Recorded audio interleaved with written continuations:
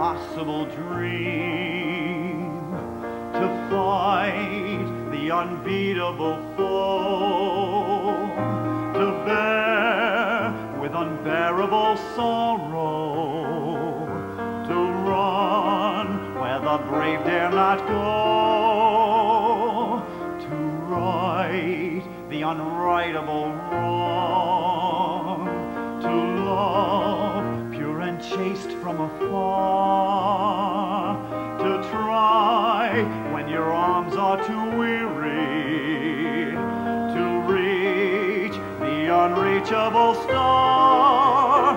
This is my quest to follow that star, no matter how hopeless, no matter how far, to fight for the without question or pause, to be willing to march into hell for a heavenly cause.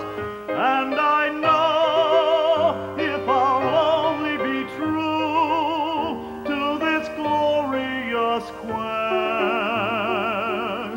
that my heart will lie peaceful and calm when I'm laid to my rest.